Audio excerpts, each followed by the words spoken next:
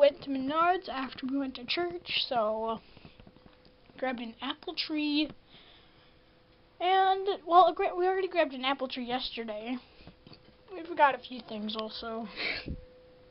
But, yeah, I gotta edit still. So, yeah, hope you guys are enjoying these vlogs, to be honest. Go check out my past vlogs.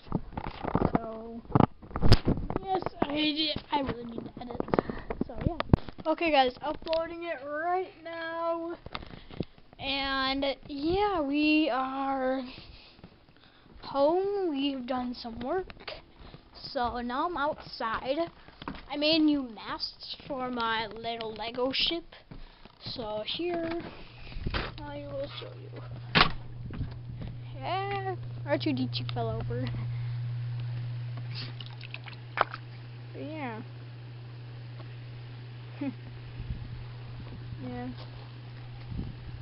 Yeah. Nests look better. There you go. But yeah. Guys, one of my old vlogs that ended with like a bunch of time lapses, which I loved.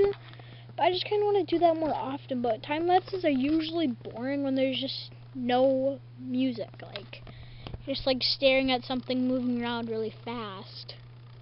When in real life, it's just kind of like sway, sway, sway. So I want to do more of something like that. so I'm trying to come up with like a few type of like time lapses right now to do later in the video. You guys will see one near the end like something that I just previously showed you. You guys will probably get this right away, but yeah. I'm gonna find more time lapses, so yeah. Hopefully my camera focuses more. Oh wow, Aiden's right there. Hi, bud.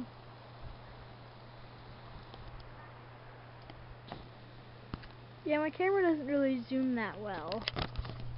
So yeah, guys, um, yeah, let's just end with more time lapses.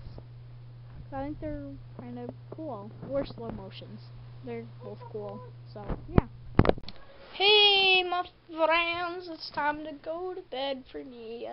I've skipped a lot today, so I hope you guys enjoy these upcoming time lapses. Um, and yeah, guys, I hope you guys are having an awesome day. Subscribe if you're liking this content. So, yeah, time lapses start now.